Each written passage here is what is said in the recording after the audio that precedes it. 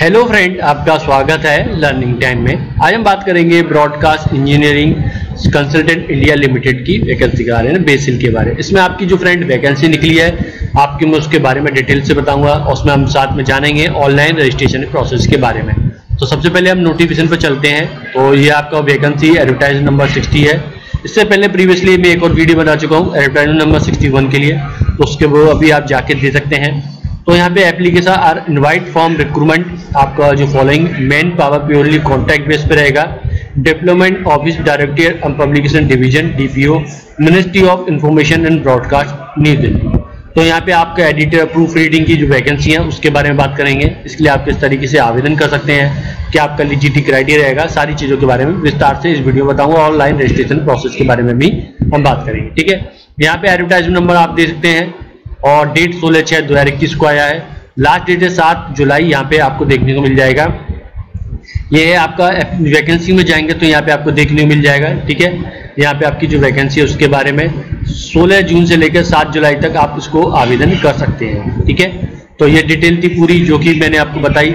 अब हम आपसे मेरी छोटी सी रिक्वेस्ट है, आपने अभी तक हमारे चैनल लर्निंग टाइम को सब्सक्राइब नहीं किया है तो प्लीज़ गाइस सबसे पहले आप हमारे चैनल लर्निंग टाइम को सब्सक्राइब करें। जिससे कि आपको daily all India government job की जानकारियाँ मिलती रहे। फ्रेंड मैं आप लोगों के लिए daily all India government job से रिलेटेड जानकारियाँ वीडियो लेकर आता रहता हूँ। जिसमें आपको गवर्नमेंट जॉब कैरियर रिलेटिव आपके जिसमें ऑनलाइन रजिस्ट्रेशन प्रोसेस है नोटिफिकेशन है, सारी महत्वपूर्ण जानकारियाँ आपको कवर करता हूँ और बताता हूँ। तो फ्रेंड डेली ऐसी गवर्नमेंट जॉब से रिलेटेड जानकारी के लिए हमारे चैनल रनी टाइम से जुड़े और सब्सक्राइब करना ना भूलें। यह वीडियो इन्फॉर्मेशन आप लोगों की हेल्पफुल है तो ज़रूर बताएँ। और लाइक करें हमारे चैनल को सब्सक्राइब करें। और बात करते हैं जो वैकेंसी के बारे में। तो सबसे पहले फ्रेंड यहाँ पे आपको देखिए जो ये कैरियर में जाएँगे, यहाँ पे कैरियर पर जाने के बाद यहाँ पे आपको वैकेंसी है, इस पर आपको जाना है। वैकेंसी पर जाने के बाद आपको ये तीसरे नंबर का नोटिफिकेशन है, ये आपको देखने को मिल जाए सोलह जून से सात जुलाई तक का है, ठीक है? यहाँ पे आपसे वी डिटेल पे जाके आपको चेक कर सकते हैं। वी डिटेल पे जाएँगे तो ये आपका नोटिफिकेशन आपका ऑन हो जाएगा, जैसा कि मैंने अभी दिखाया यहाँ पर। तो यहाँ पे editor English New Delhi recruitment आपकी दो वैकेंसी हैं। यहाँ पे एलिजिबिलिटी क्राइटेरिया की बात करें, आपकी ड्यूटी और परफॉर्मेंस यहाँ पे देखिए सैलरी आपकी साठ हज़ार पर मंथ है। कैंडिडेट मस्ट भी आपका at least post graduation degree in any discipline with English आपसे सब इंग्लिश से होना चाहिए as a subject graduation level from any recognise दो साल का एक्सपीरियंस होना चाहिए aspect book editing book publishing book writing आदि. कैंडिडेट मस्ट भी कंप्यूटर का नेट से भी होना चाहिए with full knowledge M S office other basic skill requirement using computer and internet आपका नॉलेज गवर्नमेंट रूल और प्रोसीजर के प्रेफरेबल है. यहाँ पे आपकी आयु 40 से कम नहीं होनी चाहिए डेट ऑफ़ एडवर्टाइजमेंट की है डिजायरेबल क्वालिफिकेशन की बात करें, जो भी आपको मांगा गया है knowledge Hindi any other regional language degree diploma certified course book in publishing journalist mass communication ठीक है? तो यहाँ पे आपको दे रखा है। आपके काम के जो है, उनके बारे में दे सकता है, उसके बारे में आप पढ़ना चाहें तो यहाँ से पढ़ सकते हैं तो ये आप पढ़ लीजिएगा, ठीक है? तो ये निवेदन है, आप खुद पढ़ लें, बेटर रहेगा, साठ हज़ार रुपये है। Assistant editor English New Delhi दो vacancy graduate degree from reputed institute which recognise by the government along with suitable experience in the field, journalism, publishing, e-publish, digital achievement, ठीक है? आठ चीज़ sorry the candidate must have excellent command over concert over English ठीक है? तो यहाँ पे तीस हज़ार पर मंथ रहेगा language the candidate must have excellent computer and I T skill और knowledge of government rules and procedure knowledge आपकी होनी e publish digital prepare maximum आपकी एज चालीस तरीके डेट ऑफ़ इशू एडवर्टाइजमेंट ठीक है? यहाँ पे आपको बाकी आपकी जो काम से रिलेटेड जानकारियाँ हैं तो उसको आप पढ़ सकते हैं। तीस हज़ार पर मंथ रहेगा।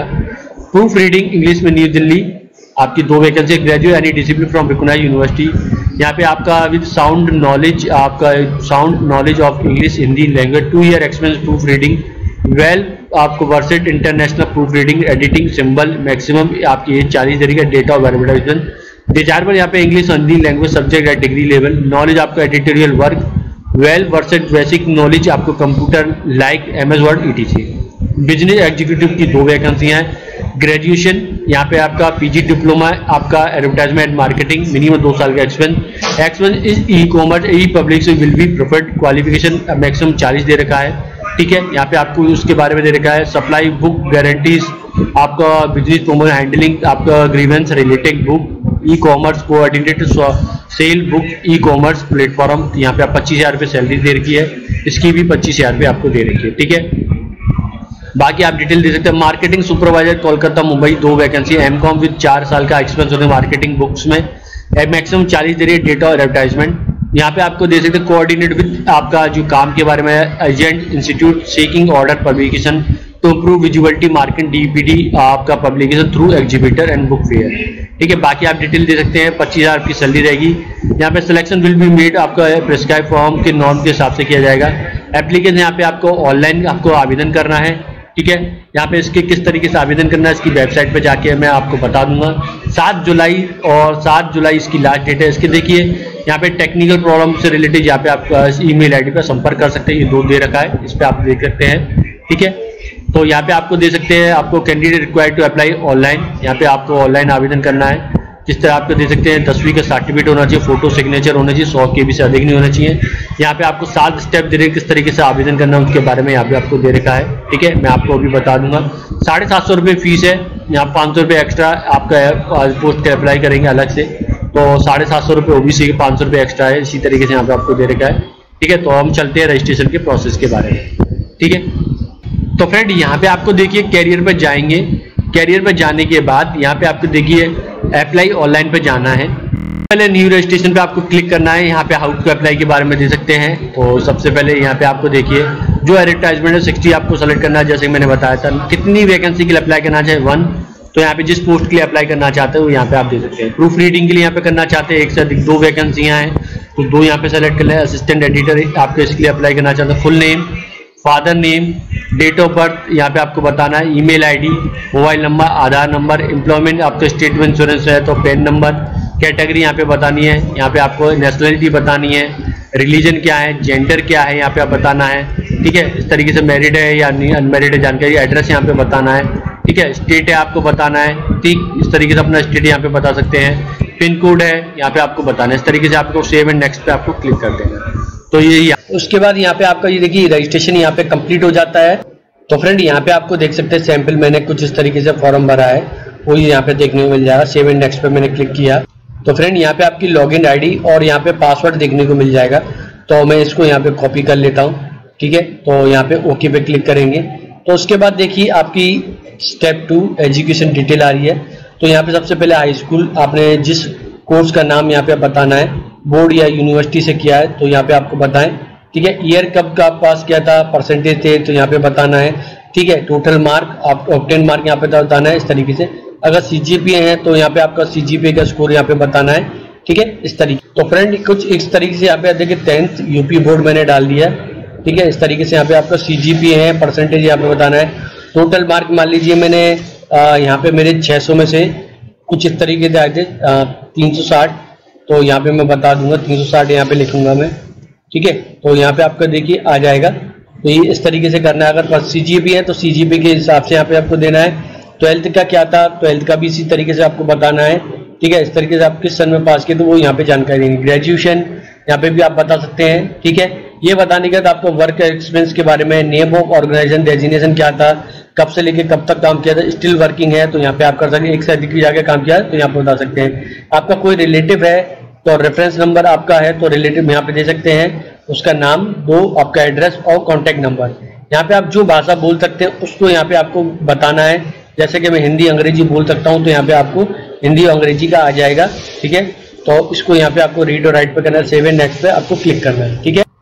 तो फ्रेंड यहाँ पे आपको देखिए पासपोर्ट साइज़ फ़ोटो नन्ना सत्तर के का। यहाँ पे कैंडिडेट सिग्नेचर आपके जेपीजी पीएनजी में सेम यहाँ पे रखना है, पचास के का। यहाँ पे डेट ऑफ़ बर्थ के लिए आपका क्लास टेंथ का आपको यहाँ पे देना है, जो कि देशो दो सौ के बी का रखा गया है तो यहाँ पे इसको अपलोड करना है सेव एंड नेक्स्ट पे आपको क्लिक कर देना है, ठीक है? तो फ्रेंड कुछ इस तरीके से यहाँ पे मैंने अपलोड कर दिया सैंपल के आप लोग दे सकते हैं। यहाँ पे आपको देखिए मेरा प्रीव्यू देखने को मिल जाएगा, ठीक है? तो यहाँ पे आपको पूरा प्रीव्यू देखने को मिल जाएगा। एक बार अपनी इन्फॉर्मेशन को चेक कर लें, सारी चीज़ें सही हैं, उसके बाद ही आप मॉडिफाई पर जाकर सही कर सकते हैं। अदरवाइज़ यहाँ पे आपको सब चीज़ सही होने के बाद लगता है सब कोई गलती नहीं की है उसके प्रोसीड टू पेमेंट पे क्लिक कर दें। तो यहाँ पे आपको देखिए जो आ रहा है पे ऑनलाइन किस तरीके से करना है, ठीक है? तो यहाँ पे आप इसको कर सकते हैं। तो यहाँ पे आपका पे ऑनलाइन का आ जाएगा, इस पर आप क्लिक करेंगे। यहाँ पे आपको देखिए दो माध्यम से नेट बैंकिंग किसी भी एक माध्यम से आप चुनकर यहाँ पे पेमेंट कर सकते हैं। तो यहाँ पे आपको card number month expiry date या नेट बैंकिंग से यहाँ पे आप चुन सकते हैं। इनमें से किसी एक बैंक के द्वारा यहाँ पे आप पेमेंट कर सकते हैं। ठीक है? अगर फ्रेंड कोई प्रॉब्लम होती है आउट अप्लाई के बारे में भी यहाँ पे आपको दे रखा है तो वहाँ पे चेक कर सकते हैं। तो फ्रेंड ये तो फ्रेंड ये थी आपकी ब्रॉडकास्ट आपके इंजीनियरिंग कंसल्टेंट इंडिया लिमिटेड की वैकेंसी के बारे में, जिसमें आपको पूरी डिटेल दी। ये वीडियो इन्फॉर्मेशन आप लोगों के लिए हेल्पफुल है तो प्लीज़ ज़रूर बताएँ। गवर्नमेंट जॉब से रिलेटेड जानकारी और डेली अपडेट के लिए हमारे चैनल के साथ बने रहें। वीडियो पसंद आए तो प्लीज़ लाइक और सब्सक्राइब करना ना भूलें। और वीडियो को अंत तक देखने